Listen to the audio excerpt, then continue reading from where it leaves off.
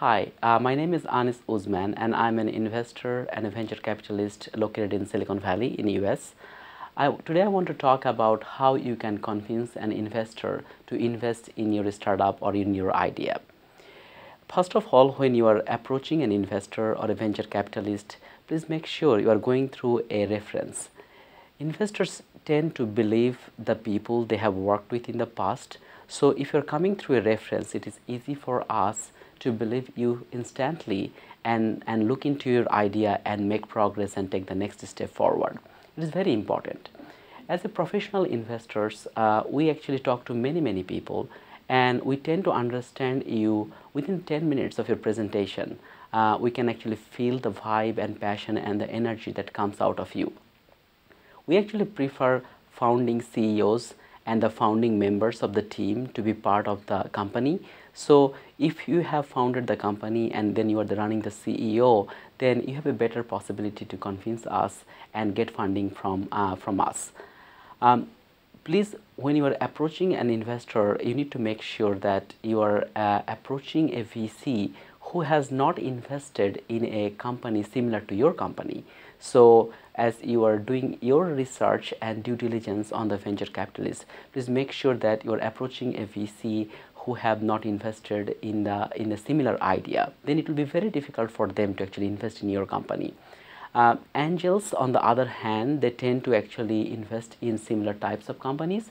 So you might have better luck if you're approaching an angel versus a VC in case if you are uh, not sure that the VC you are approaching has invested in a company similar to yours or not. Now, as you are preparing your presentation, I'm sure that you are going to put together a slide deck. As you're putting together the slide deck, please make sure that you state the problem you are trying to solve very clearly um, in, in, in your presentation slide as an investor, I would like to see uh, the problem statement uh, stated very clearly and there is a solution that uh, that is also presented. So your startup will be solving that problem and that has to be very clear at the beginning part of your presentation. You also need to be careful about the market size. You need to understand the market that you will be playing a big uh, big role at. So as you are presenting the company please make sure that you have very good knowledge about the market size and the market size is at least 100 million dollar or more. We also want to like uh, see a traction of your company. So there are two types of traction that you can think of uh, the user traction and then the financial traction. So please make sure that uh, the product that you have is already being used by many users or it has some financial traction. You're already selling your product and solution and you're making money. Team actually is another very important item. Uh, if you ask any Silicon Valley investors that what is the most important thing in a startup, many of them say that it's team, team and team so team is very important. You need to find out people who has the same energy level and same passion level as you do.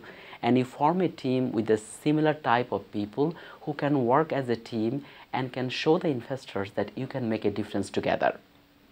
Knowing about your competition is another very important aspect if you do not know your competition and you are trying to open up a startup, then most likely the investors will not have the confidence they need in you to be able to make a decision. So it is very important that you know your competition very well.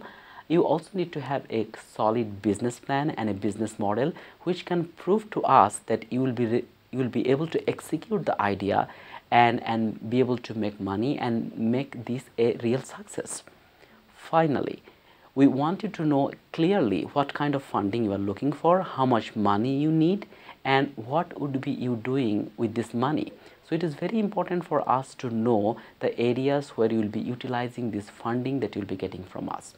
So these are some of the core elements that you need to be very careful about and you need to prepare based on these items that I just explained to you and then if you approach the right investors, I'm sure that you will have success.